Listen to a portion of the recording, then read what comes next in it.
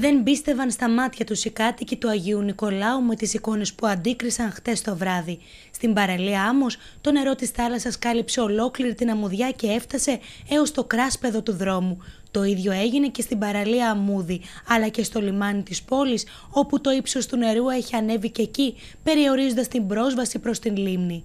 Ναι, το φαινόμενο έχει ανέβει στα θάλασσα με αποτέλεσμα σε μια παραλία εκεί πόλη σαν τον Άγιο Νικόλαο να εμφανίζονται φαινόμενα όπως στη Λίμνη και σε άλλα σημεία της περιοχής παραλίας, άνοδος της στάθμης της θάλασσας. Είναι πιο έντονο από άλλες περιπτώσεις. Ζούμε το, την περίοδο της κλιματικής αλλαγής που τα αποτελέσματα αυτά νομίζω ότι είναι χαρακτηριστικά. Είναι κάτι το οποίο το έχετε ξαναζήσει εκεί στον Άγιο, ενώ είναι κάτι συνηθέ. Ε, ε, τόσο έντονο, όχι. Στη Λίμνη ήταν ας πούμε γύρω 40 εκατοστά με 50, το οποίο φαινόταν και ξεχώριζε, το οποίο έτσι δημιούργησε. Όμως τα έντονα καιρικά φαινόμενα των προηγούμενων ημερών το παράδοξο αυτό φυσικό φαινόμενο που εξελίσσεται τις τελευταίες ώρες έχει προβληματίσει έντονα τους κατοίκους της περιοχής, οι οποίοι δηλώνουν την έκπληξή τους, καθώς ανάλογη κατάσταση δεν έχει προκληθεί άλλη φορά στο παρελθόν μετά από την επικράτηση θελωδών ανέμων. Βέβαια σήμερα έχει αρχίσει να υποχωρεί ελαφρά το φαινόμενο με τον αντιδήμαρχο Αγίου Νικολάου μιλώντας στην Κρήτη TV να εμφανίζεται ιδιαίτερα καθησυχαστικός. Θεωρητικά υπολογίζουμε ότι έχει ανάγκη γύρω 40 με 50 πόντους.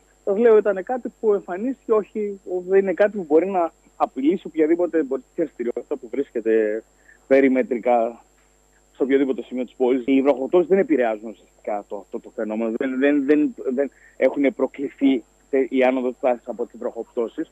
Είναι άλλα τα φαινόμενα, ε, φαινόμενα βαρομετρικών ε, μαγνητικών πεδίων και τέτοια. Τα οποία υποχωρούν, σας λέω. Δηλαδή, σε σύγκριση με αυτέ, όντως υπάρχει μια βελτίωσης των 10-15 πόντων που νομίζω ότι θα εξομαλυνθεί τις επόμενες μέρες. Η πιο λογική εξήγηση του φαινομένου είναι να προκλήθηκε από τους θυελώδει νότιους άνεμους που σάρωσαν και την Ανατολική Κρήτη τα τελευταία 24 ώρα. Αλλά το ερώτημα είναι γιατί αυτό δεν είχε συμβεί τα προηγούμενα χρόνια όταν επικρατούσαν νότιοι άνεμοι της ίδιας έντασης;